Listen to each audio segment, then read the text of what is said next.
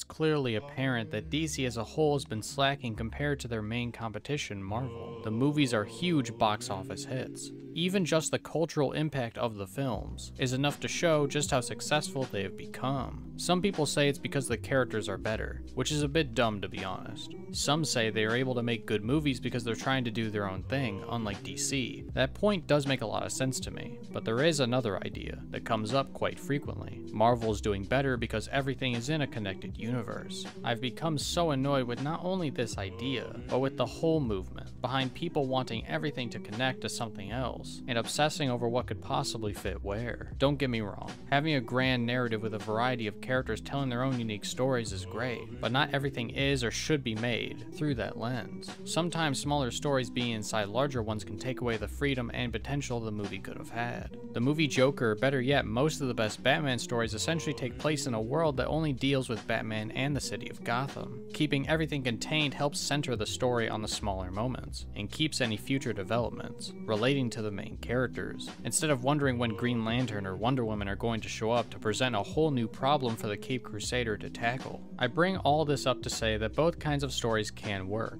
and people's obsession with grand interconnected narratives at times reaches the insanity of some of the most die-hard power scalers, who would fight to the end about why their favorite anime character would solo everyone, when they were just asked about a recent anime release. Despite my tangent, I really like what Marvel has managed to do with their movies for the most part, but DC might finally have a foothold, that they can begin to actually form something concrete after all this time. But to understand why, let's talk about James Gunn's new show, Peacemaker. The show was amazing, with only one episode standing out as subpar. Every character was fleshed out, while the story was strong enough to keep the viewer itching for another episode. It's a redemption story done really well, a guy that was raised by a supremacist father, trying to overcome everything that was forced onto him, while tackling a grand conspiracy alongside some hilarious characters. I ended this show loving pretty much every major character in some way, even if they only existed as a side character for laughs. The villains each had such a wild presence to them, with Peacemaker's dad stealing the show for me, ignoring the final battle. It all just felt a bit rushed, which probably was true since it was the second to last episode. Somehow, most of these superhero shows as of late have felt like they needed more time, even though they're given much more time than a movie would normally have. But despite that, I was left wanting more from all these characters.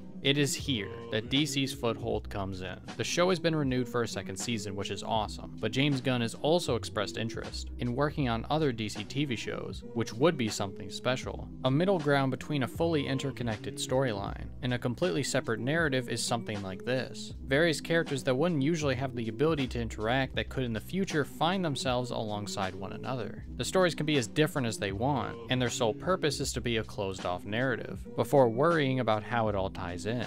But back to Peacemaker. I see so much potential for the eventual season 2. Peacemaker being haunted by the ghost of his dad, sitting on the porch as he's grinning beside him. Peacemaker did defeat him, yet somehow, he hasn't really won. All the pain and suffering he has endured will take a long time to shake if even at all. Vigilante is funny as always, and I can imagine season 2 will be no different. The one gag that kept getting me though, is how often he survives situations. He could get shot, or at one point, even take a point blank grenade, and still find a way to make it out. I'm also curious how Adebayo's actions will impact the future. Maybe Amanda Waller will try to shut them all up in some way, which could be cool to see. Maybe even a past Suicide Squad member could show up for that purpose. What did you think of season 1? And what are your thoughts on James Gunn's future with DC properties? What do you hope we will see in season 2? Let me know in the comments below. And if you haven't already, subscribe. It costs nothing, and you can always unsubscribe later on if you want. I hope to see you next time.